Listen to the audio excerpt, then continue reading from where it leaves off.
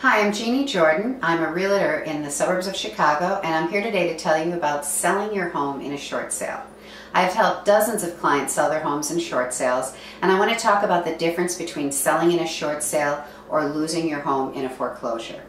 In a short sale situation, basically the bank allows you to sell your home for less than it's worth. So if your home is currently worth $200,000 and you owe $300,000, the bank would allow you to sell your home for the 200,000 and they would forgive that debt.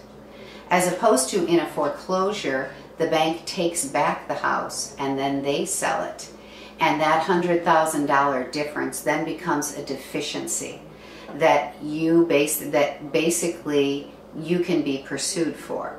So it's a much better situation to have the clean slate of a short sale. It's also easier on a family. It's easier on, uh, it's you have a scheduled closing date.